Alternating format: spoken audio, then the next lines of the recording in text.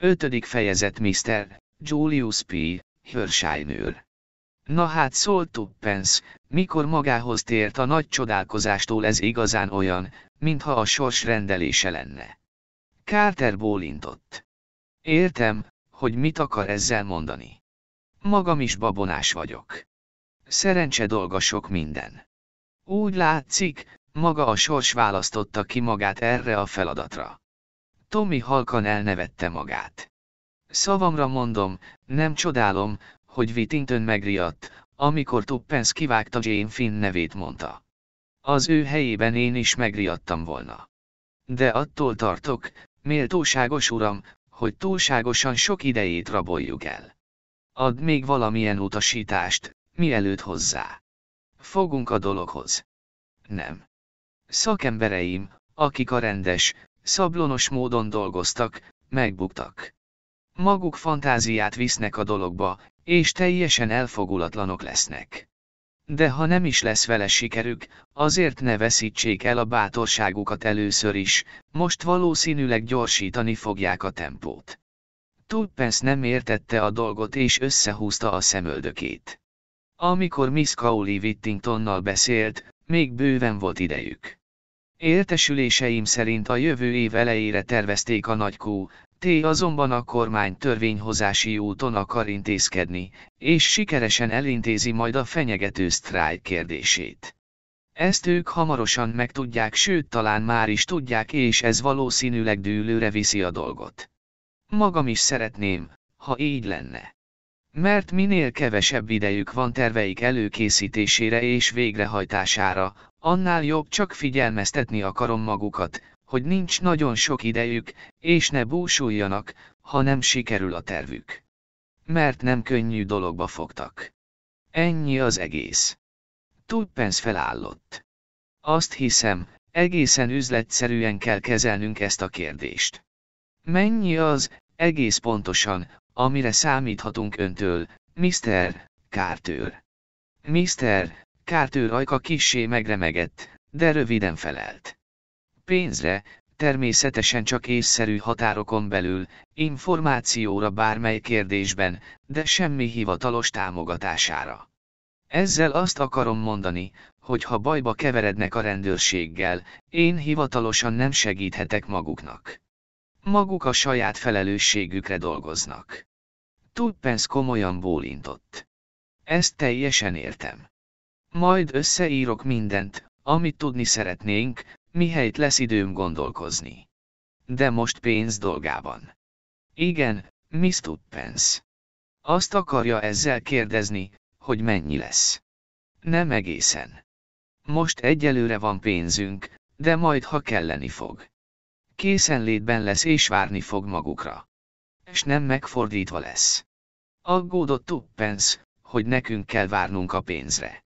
Tudja, nem akarok semmi rosszat mondani a kormányról, ha magának valami köze van hozzá, de hát az embert igazán megeszi a fene, ha arról van szó, hogy a kormánytól kapjon pénzt. És ha mi is csak úgy juthatunk pénzhez, hogy először kitöltünk valami kék évet és azt beküldjük, és aztán három hónap múlva küldenek valami zöld évet, hogy azt is töltsük ki és így tovább hát ebből nem sok hasznunk lesz, ugye? Mr. Carter hangosan nevetett. Ne aggódjék, Miss Tuppence. Majd egyenesen ide küld hozzám, és a pénzt postafordultával megkapja bankjegyekben. A fizetés pedig nos, mondjunk évi 300 fontot, jó. És természetesen ugyanannyit Emmer Beresfordnak is. Tudpence boldogan mosolygott Emmer Carterre. Jaj, de mesés. Igazán kedves. Én úgy szeretem a pénzt. Csapta össze a kezeit örömmel. A kiadásainkról majd pontos elszámolást vezeték csupa követel és tartozik lesz az egész. Jobb oldalra teszem az egyenleget és meghúzom a piros vonalat és az utolsó sorban összevágnak a végösszegek. Igazán meg tudom csinálni, ha belefekszem. Elhiszem, Miss Tuppence mosolygott Mr. Carter. Nos, Isten vele és sok szerencsét mindkettőjüknek. Kezet fogtak és a következő percben lefelé indultak a Karsalton Gardens 27 lépcsőjén. Úgy érezték, Tuppence is, Tommy is, hogy gyorsabban forog a világ. Tommy. Most rögtön mondja meg, hogy kicsoda ez a Mr. Carter. Tommy a lány fülébe súgott egy nevet. Oly. Csodálkozott Tuppen száhítattal. Na és mondhatom, hogy ő valóban az. Oly. Ismételte Tuppence. Aztán elgondolkozva tette hozzá. Nekem tetszik, magának nem. Olyan borzasztó fáradtnak és unottnak látszik, de azért erezni lehet, hogy a látszat mögött olyan, mint az acélpenge, éles és villogó. Oly! Tuppence ugrott egyet. Csípjen meg, Tommy, kérem, csípjen meg. Nem tudom elhinni, hogy D mind igaz. Emmer Beresford eleget tett a lány kívánságának. Jaj! Elég már. Hát tényleg nem álmodunk. Találtunk foglalkozást.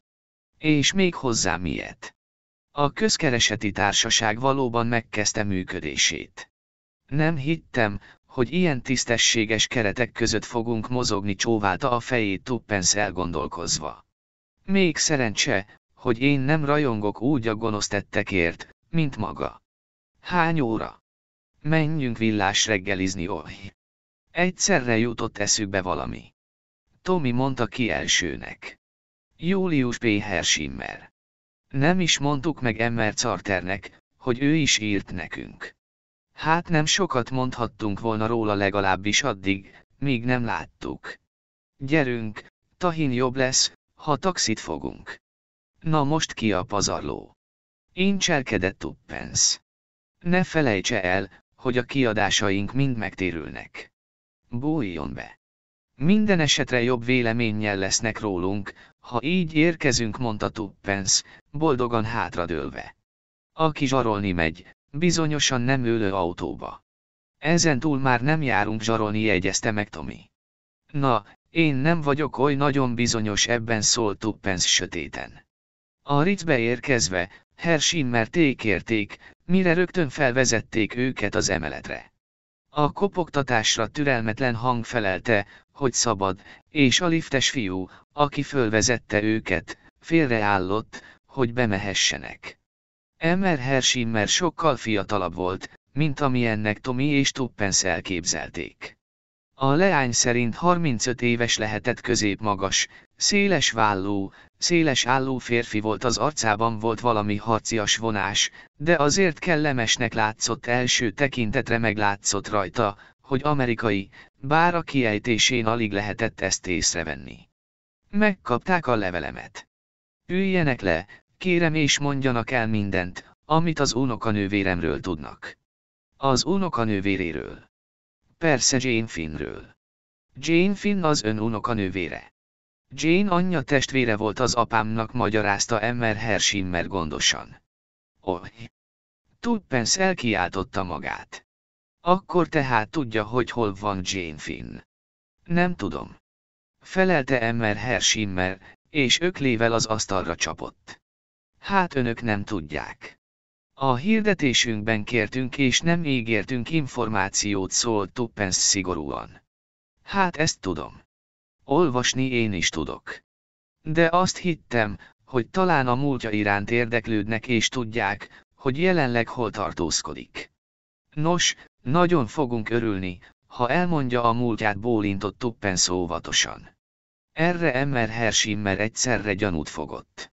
Nézzék, nem vagyunk Szicíliában. Mondta. Itt nem lehet váltságdíjat kérni, sőt azzal sem lehet fenyegetőzni, hogy levágják Jane fülét, ha én most nem felelek. Mi most a brit szigeteken vagyunk és hagyják abba a bolondozást, mert különben ide hívom azt a gyönyörű nagy brit rendőrt, aki ott áll a pizzadíjén. Tommy sietett a magyarázattal. Mi nem raboltuk el az unokanővérét ellenkezőleg, szeretnénk megtalálni. Minket megbíztak azzal, hogy keressük meg. Emmer Hershimmer hátradőlt a széken. Magyarázatot kérek, mondta röviden.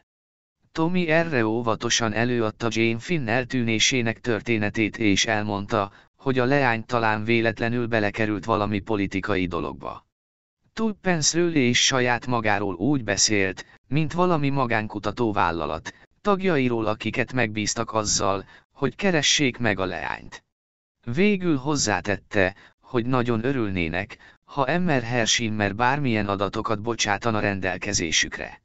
Emmer Hershimmer helyezlőleg bólintott. Így persze rendben van. Kissé elhamarkodtam a dolgot. De ez a London az idegeimre megy. Én csak a jó öreg New Yorkot ismerem. Csak kérdezzenek bátran, én majd. Felelek. Most megakadt egy pillanatra az ifjú kalandorok, tudománya, de Tuppence gyorsan feltalálta magát, és fölhasználva detektívregényekből merített tudását, megszólalt. Mikor látta utoljára a megból akarom mondani, az unoka nővérét. Soha se láttam felelte Emmer Hershimmer. Hogy-hogy? kérdezte Tomi csodálkozva. Soha se láttam ismételte Emmer Hershimmer. Ahogy már mondtam, apám és az ő anyja testvérek voltak, mint ahogy, például, önök is testvérek lehetnének, Tomi nem találta szükségesnek tiltakozni e foltevés helytelensége ellen, de nem voltak mindig jóban. Amikor a nagynéném hozzá akart menni Amos Finnhez, aki valahol, messze nyugaton, egyszerű kis tanító volt, az apám rettenetesen megharagudott. Kijelentette, hogy ha valamikor sok pénze lesz is, és akkoriban már a legjobb úton volt ehhez, akkor se ad még egy huncut vasat se a nővérének. A vége mégiscsak az lett, hogy Jane néni hozzáment a tanítóhoz és mi soha többé nem hallottunk róla. Az apám pedig valóban sok pénzt szerzett folytatta Emmer Hershimmer. Előbb olajban dolgozott, aztán a célban, majd a vasutakkal foglalkozott és mondhatom, hogy csak őt figyelte az egész Wall Street. Egy pillanatra elhallgatott. Múlt ősszel meghalt sóhajtott aztán, és én örököltem a dollárokat és akár hiszik, akár nem, megszólalt a lelki ismeretem, hogy mi történhetett Jane nénémmel ott nyugaton. Ez a dolog nagyon aggasztott, mert kezdettől fogva világos volt, hogy én Finnből soha se lesz semmi. Nem az a fajta ember volt, aki érvényesülni tudna.